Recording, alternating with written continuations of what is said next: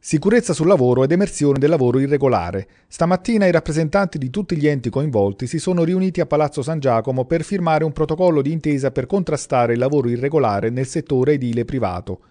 Il Comune di Napoli metterà in rete i dati sui cantieri di edilizia privata che si aprono in città e che verranno ora incrociati con quelli in possesso degli enti deputati al controllo. Uno sforzo enorme, il Comune è garanzia perché ha il coordinamento, eh, per cui penso che questo protocollo sia veramente l'inizio eh, eh, per Napoli eh, e per tutti i lavoratori ehm, un inizio importante per capire che a Napoli si può insieme vincere e realizzare degli obiettivi eh, molto sfidanti come questi questo? Guardi, io credo che ehm, la verifica e l'osservanza delle norme in tema di sicurezza del lavoro sia una, una, cosa necessaria e indispensabile da parte di tutte le istituzioni. Quindi io mi aspetto, come sicuramente avverrà, che ehm, l'inizio di questo processo di comunicazione tra vari enti, tra i vari attori del sistema ci consente di avviare un processo eh, che senz'altro eh, ci porterà dei buoni risultati.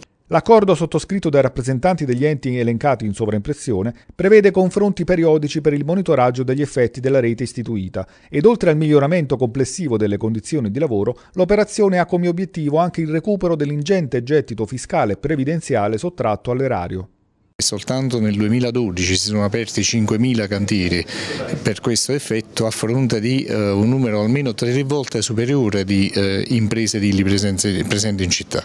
Allora è vero che c'è una crisi nel settore edile ma è molto significativo il fatto che in realtà eh, saranno moltissime le imprese che non denunciano eh, la regolarità contributiva e la regolarità dei cantieri.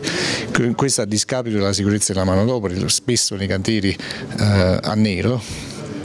e quindi anche con tutti i rischi che ne conseguono con le persone impegnate nei cantieri e eh, consideriamo anche le, il danno erariale che ne consegue dalla mancata registrazione delle, della manodopera dei lavoratori.